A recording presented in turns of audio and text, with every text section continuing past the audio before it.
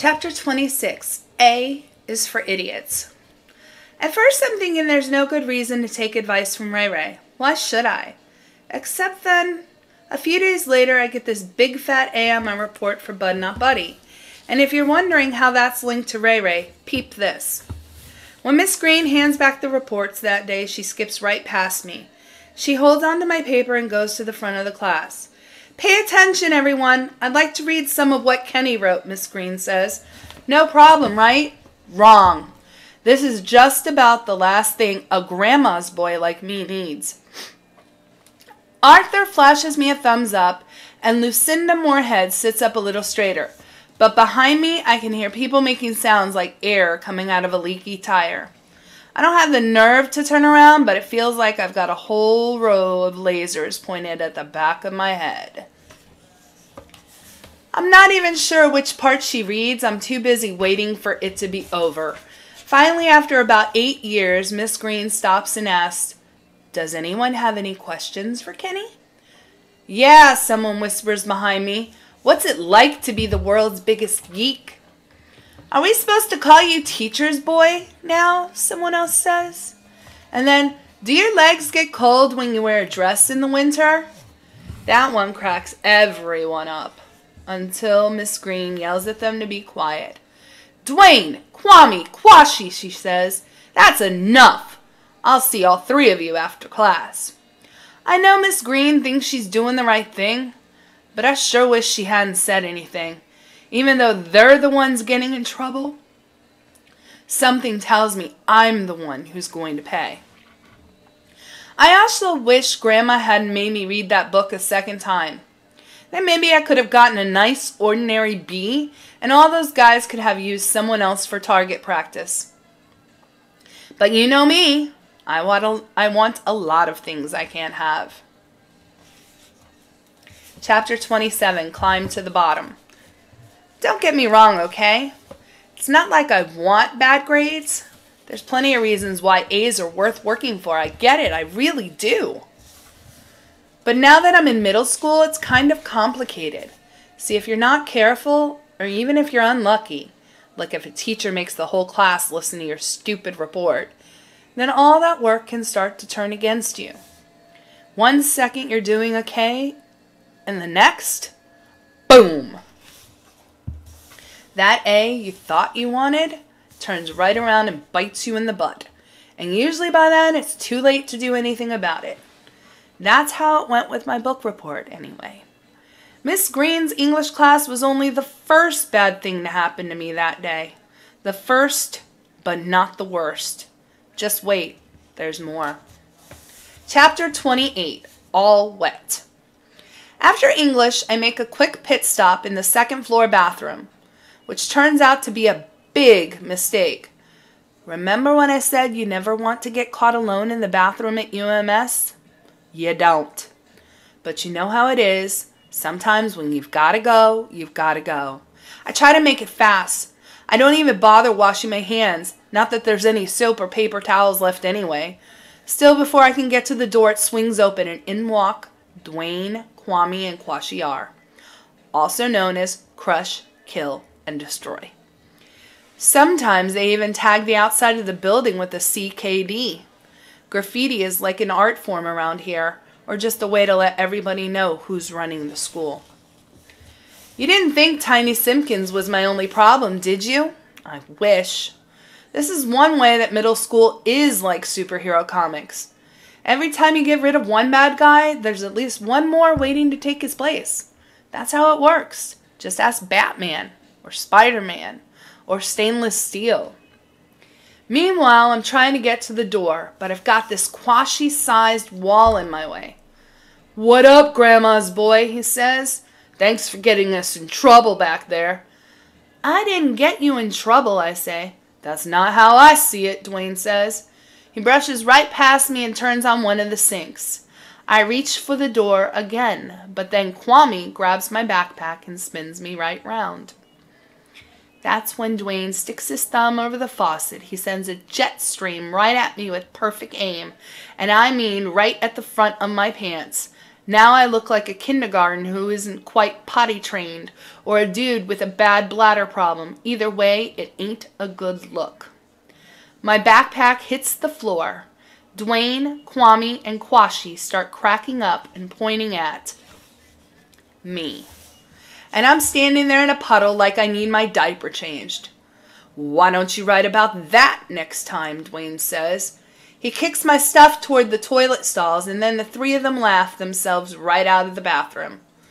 I don't go after them, obviously, even if I had the guts. I don't have the muscle, and even if I had the muscle, there's no way I'm to go running out there looking like this. Now I'll have to spend the rest of the day with my jacket tied around my waist and carrying my books all front and center until I dry off. All because of one stupid book report. I don't get it. It's not like I'm the biggest brain. I'm not a butt kisser like Lucinda Moorhead either. And I know for a fact that some of the other kids live with their grandmas, including Kwashiar. So how come I'm the official school punching bag? Weirdly enough, that's when I start thinking about Ray Ray. He's even skinnier than I am. He's hyper as one of those elementary school shorties. And he's totally annoying. But people don't ride him the way they do me. Even when someone does mess with Ray Ray, it's like he doesn't even care. Like nothing ever bothers him. And I'm thinking, how does he pull that off? What's his secret? On the real, I wish I was more like that. Which is the weirdest thought of all. I mean, if you told me at the beginning of the school year that I'd ever want to be anything like Ray Ray Powell, I'd have said you were crazy. Straight bananas nuttier than one of Gma's pecan pies with extra nuts. But guess what I'm figuring out real quick? Middle school's crazy too. And nutty isn't always the same thing as wrong. Sometimes in life you have to get in where you fit in. We just went over this in science. It's called adaptation. If your environment changes, guess what? You better change or else. So now here I am, actually wanting something from Ray Ray, if I can get it. And like it or not, there's only one way to find out. I'm going to have to ask. Chapter 29 Never Thought I'd See the Day. I wait until we're playing chess the next day, so we're good and alone. I don't want any witnesses for this. We're about halfway into our first game. Ray Ray's trying to figure out his next move. I even left my rook wide open on purpose, but he doesn't see it. I need to ask you something, I say. But don't get all excited about it. How come he says? He's already excited. The thing with Ray Ray is he's kind of like a blender with no off switch. There's just fast, faster, and fastest. He probably ought to be on one of those prescriptions, but I don't think Ray Ray gets to the doctor too much. His teeth are messed up too. Jacked, like he's chews rocks for breakfast. Every morning. You know how you're always saying I shouldn't let people mess with me, I say? Yeah, Ray Ray says. What about it? Well, don't let this go to your head. But I was sort of wondering if you could maybe, you know, tell me how, I say. Ray Ray just shrugs. It's like you expected to go down and it shows. Looking scared is the same thing as being scared. You got it? If I got it, I wouldn't be asking you, I say. How am I supposed to just not be scared of someone bigger than me? It's not like I can turn it off and on or run down to the corner store for some guts. That's when Ray Ray starts to get some kind of new idea. I can see it on his face like he just won a hundred bucks on a scratch off ticket. So that's how we're going to do it. You give me lessons, I give you the lessons. That's the new routine, Bama, he says. Who said anything about lessons, I say. Just tell me what to do. Yeah, right, he sits back and points at the chessboard. Cause you're just gonna tell me how to play chess, huh? I'm starting to think this was a bad idea. Not because Ray Ray's wrong, but because he's right. If I'm going to toughen up, I'm going to need some kind of practice. I know exactly where to start too, Ray Ray says. Already he's pulling out his this phone I didn't even know he had, and he starts tapping away. Hang on, I say. What are you doing? You'll see, it's a surprise, he tells me. And speaking of surprises, he leans in then and slides his queen all the way across the board to take out my rook. Bet you didn't think I saw that, did you? he says. Nope, I definitely didn't. But then again, it seems like there's a lot of things I don't see coming these days. Chapter 30 Meeting the King. Just before 4:15, Ray Ray starts putting the chest stuff away. "Come on," he says. "It's almost time." "Time for what?" I say. He doesn't wait for me though. He just walks right out of the room and leaves me standing there. Part of me thinks I should let him go. You never know what's going to happen next with Ray Ray, and I don't mean that in a good way, but I'm curious too, and I did ask for his help. So I pick up the rest of the chest stuff and head out after him. When I get into the hall, Ray Ray's right there. What are you doing? I say. Waiting, he says. A second later, the detention room door opens, and the D squad for the day comes pouring out like the Nationals on opening day. I see Dwayne and Vanessa and Jerome and Tiny too. I don't want any trouble, Ray Ray, I say. Ain't gonna be any, he says, just the opposite. You remember I said how you're always acting like one of those pawns just waiting to be to get picked off? Yeah? Well, get ready to meet the king, he says. Watch and learn, son. Then he starts moving again, heading up the hall just ahead of everyone else. When we get outside, there's this black Jeep sitting out front. The stereo is knocking. It's a track from Wale's first album. I can feel the bass in my chest all the way from the curb. The Jeep's right in the place where you're not supposed to park, and it's got two bad looking dudes in the front seat.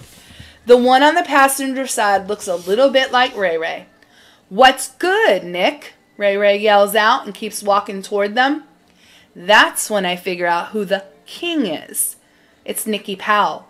The Nicky Powell. I can still remember the way Dell and Vashon bugged out when they found out Nicky was Ray Ray's brother, which of course makes me even more nervous. What's someone like me supposed to say to someone like that? Nicky looks me up and down when we get over to the car. Then he turns the stereo down, but I can still feel the womp, womp, womp, womp vibrating in my ears. This is Kenny, Ray Ray says. He's standing on one foot and kind of bouncing up and down. It's this weird habit of his. Chill, Ray Ray, Nicky says. And Ray Ray puts his other foot down. You can tell he thinks Nicky's that dude because Ray Ray never does anything anyone tells him. You the one who's teaching Ray Ray chess? Nicky says in a slow, cool draw.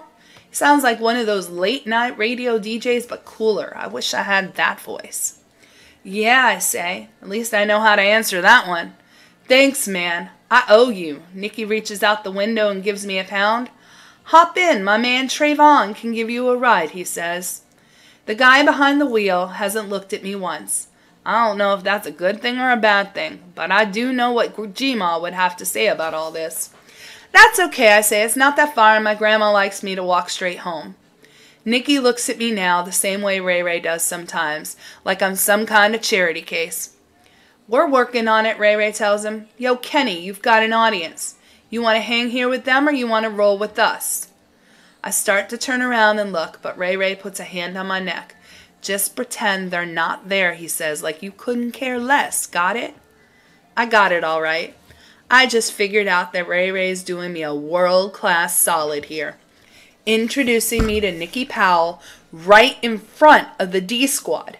I'll bet this is frying Tiny's brain into a crisp like cheap bacon. You know, the kind that shrivels all the way down until it looks like a stick of gum. And either way, he's right. The last thing I want right now is to get left alone with that crew. So when Ray Ray opens the car door, I go ahead and get in behind him. Then Trayvon pulls away the, from the curb, fast and loud. Wale spits the second verse of that track that I can't remember the name of, but that will come back to me sometime later today. I never look back, not even once, but I sure do want to.